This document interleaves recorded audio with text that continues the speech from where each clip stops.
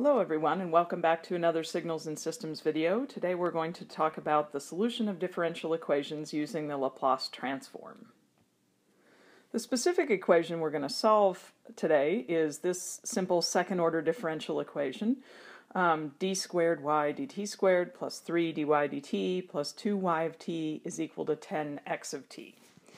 So if we're going to use the Laplace transform, what we do first is transform the differential equation. So we take the Laplace transform of each of these terms here.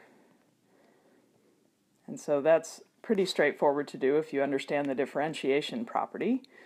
Um, and so the transform of the first term, d squared y dt squared, comes out to be s squared y of s minus s y of 0 minus oops, minus y prime of 0 minus. That's the derivative of y at 0. Um, plus then the next term will be 3 times the transform of dy dt, which is uh, s y of s minus y prime of 0 minus and then we get plus 2y of s is equal to 10x of s. Okay, so we've transformed each of these terms individually. The first one results in these three terms here. The second transform results in these two terms. This results in uh, a single term, 2y of s, and this transform results in a single term, 10x of s. And so we can rearrange this equation just a little bit, make it look a little simpler. And we group, um, we group the terms that have y of s in them first. So we get s squared plus 3s plus 2 times y of s. And then is equal to 10x of s and now I'm going to move um, all of the terms involving the initial conditions over to the right-hand side as well. Um, and so what I'm left with is plus s plus 3 times y of 0 minus, oops, plus y prime of 0 minus. So I've just reorganized this equation uh, to get it in this form. And then ultimately what I'm trying to solve for is y of t, so I need to get y of s by itself on the left-hand side. So I just divide both sides of the equation by this, and then I'm left with y of s by itself. So if I do that, excuse me, if I do that, I get y of s is equal to 10 over s squared plus 3s plus 2 x of s uh, plus um, s plus 3 times y of 0 minus plus y of y prime of 0 minus over s squared plus 3s plus 2. Okay, so now we have this uh, equation in a form where we could just take the inverse transform of these two terms individually and get y of t. But it's helpful to think a little bit about what these two terms mean. Notice that this first term here only depends on the input x of s, not on any of the initial conditions. The initial condition terms are over here. And so we can um, have names for each part of this uh, solution. Um, and so this part here we will call the zero state response.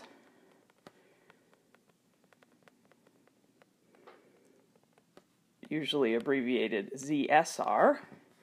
And this term here we will call the zero input response. Or ZIR. Okay, and we can see why these names are reflective of, of each part of the solution. So the zero input response, this piece, is all that you would get if x of s was 0. So if the input x of t is 0, the input is 0, then this term goes away and I'm just left with this term. So that's why we call it the zero input response. This term over here is the zero state response, and we call it the zero state response because that's what we get when all of the initial conditions go away. All of the initial conditions go to zero, so the system is said to be in a zero state initially. So this is the zero state response. The zero state response contains the response due to the input alone, and the zero input response contains the response due to the initial conditions alone. Okay, so it's helpful to, to split that up uh, into two pieces sometimes, to think about them separately. So now let's see what the inverse transform, the, the other thing we can do is we can now take the inverse transform of each of these two terms and uh, get the resulting y of t. In order to solve the differential equation, we have to know what the input is. So for this problem, we're going to assume that the input is the unit step, u of t, and we're going to assume that the initial conditions are that y at 0 minus, meaning just before the application of the input, is equal to 1, and the derivative of y at 0 minus is equal to 2. So we can now plug in for um, we have to plug in for x of s. Well, the transform of x of t is u of t. Transform of u of t is just 1 over s. So we can plug that in, and we get, we'll get 10 over, and I'm going to rewrite this um, as s, well, let me factor this as I go along. So um, I can factor this denominator as s plus two, 1 times s plus 2. So I'll write it out that way. s plus 1 times s plus 2, and then times 1 over s, that's the transform of x of t. Then I'll just substitute in for the initial conditions, and I'll get s plus 3 times 1 uh, plus, uh, 2 over s plus 1 times s plus 2 there. And all I've done there is just factored. Note that this is the same denominator on both pieces, so the factorization is the same. So now I can, if I'm going to try and take the inverse transform of this, I would have to do partial fractions first, which means I split it up into a bunch of component terms. And so I could split this up, and it would be a over s plus 1 plus b over s plus 2 plus c over s. And all of that is just the partial fraction expansion of the first term. And then the partial fraction expansion of the second term will consist of two pieces. It'll be d over s plus 1 plus e over s plus 2. Now, a, B, C, D, and E are just the partial fraction expansion coefficients, and we'll see how to get those on the next page. But let's first think about what the inverse transform of this system will look like. And so we just, all we have to do is inverse transform each term individually. So if we do that, we will get y of t is equal to a e to the minus t u of t. That's for this first term. And then we get b e to the minus 2t u of t plus c u of t. Um, and then plus d e to the minus t u of t plus e e to the minus 2t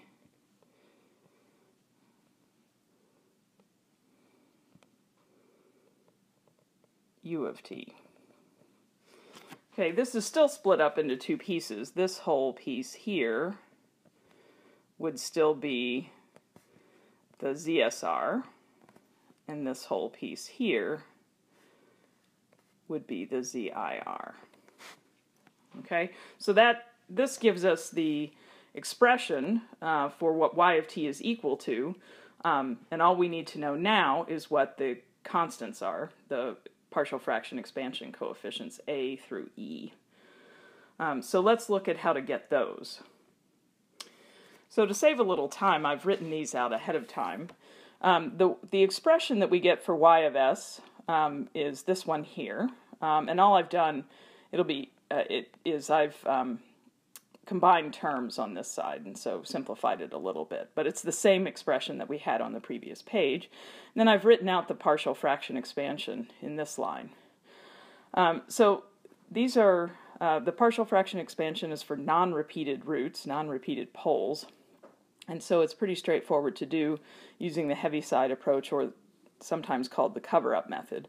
So we can solve for A by, it will be this here if we cover up the s plus 1 pole. So we just get 10 over s plus 2 times s.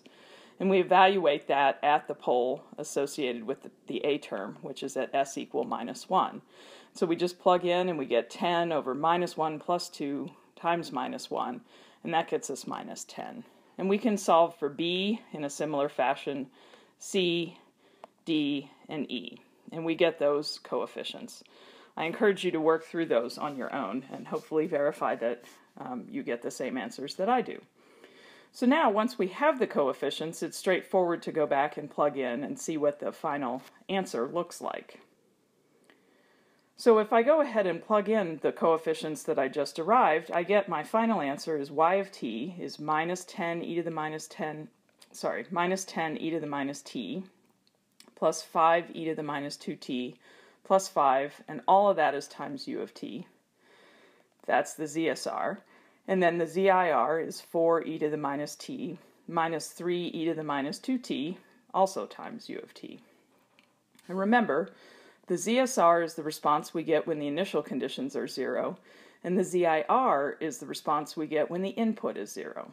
Now the total response is equal to the ZSR plus the ZIR, and if we add these two together, we get minus 6 e to the minus t plus 2 e to the minus 2t plus 5, all of that times u of t. Now, if our final, if, if all we wanted was the total response, and we didn't care about um, the individual ZSR and ZIR. We could have just combined these expressions much earlier on. So for instance, I could have just combined these two things first and then done the partial fraction expansion, which would have only required solving for three coefficients, and then I could take the inverse transform of that. But it's sometimes nice to be able to split out the ZSR and the ZIR and to see explicitly where they come from. And so that's why I've solved the equation this, this way. Now one other note about the ZSR.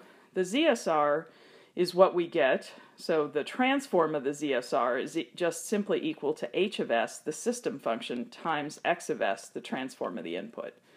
Or written another way, we could say that the ZSR piece of this is h of t, the impulse response of the system, convolved with the input.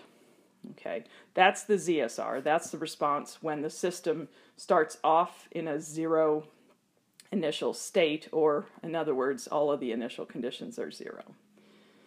Now we can also relate, uh, there are other ways to solve uh, differential equations, and we can relate our solution um, to those, and we'll see how we, we make that relationship in a moment. But first I want to talk about steady state and transient responses. So sometimes you hear people talk about the transient response and the steady state response of a particular system. The transient response is simply anything that goes, the part of the response that goes to zero as t goes to infinity. So that means as time gets very large, the transient dies out, and then all we're left with is the steady state component. The steady state component is defined as what doesn't die out. So for this particular solution, um, the two, the first two terms, minus 6e to the minus t and 2e to the minus 2t, both are decaying real exponentials, and so they go to zero as t goes to infinity. And then we're just left with this term here, 5u of t, and that would be the steady state response. So the steady state is, is what hangs around as t gets uh, very large.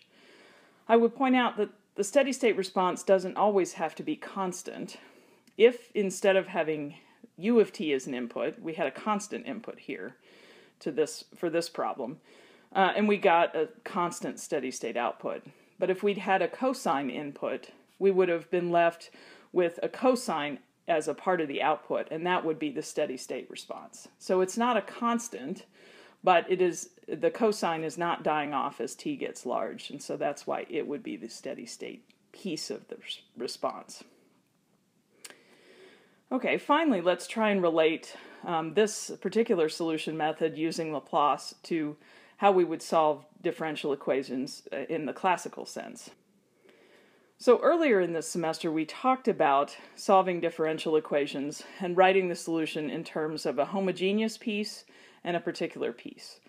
Um, the homogeneous piece is would be solutions to the differential equation where you set all of the input terms equal to zero.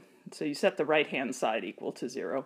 And you solve this, and you get a particular form for the homogeneous, well, you solve for the characteristic, you solve the characteristic equation, get the form of this solution, um, and then um, you can later solve for the coefficients associated with that solution. Also, it's so we have the homogeneous piece and then we have the particular piece. In this case, for this particular problem, we would have assumed that the particular solution is constant um, since the input is constant. So we would have assumed that yp was constant and solved for that constant. And the final result will be equal to exactly what we got. Okay, so we could have run through these steps and solved the differential equation using this approach, and we would have gotten the exact same total um, response solution. So we would get the same answer as adding the ZIR and the ZSR, but the one thing I want to caution you is that the ZIR is not equal to the homogeneous response, and the ZSR is not equal to the particular response. Okay, they may have the ZIR may have terms that look similar to the homogeneous response, but they're not exactly equal. Similarly, the particular solution has one component that looks like the component in the ZSR, but we cannot, they're not uh, strictly equal to one another. So that's just a, um, a reminder or uh, so that you understand a little bit about how you can relate solution of differential equations using the Laplace to solution of differential equations using the classic homogeneous plus particular solution approach.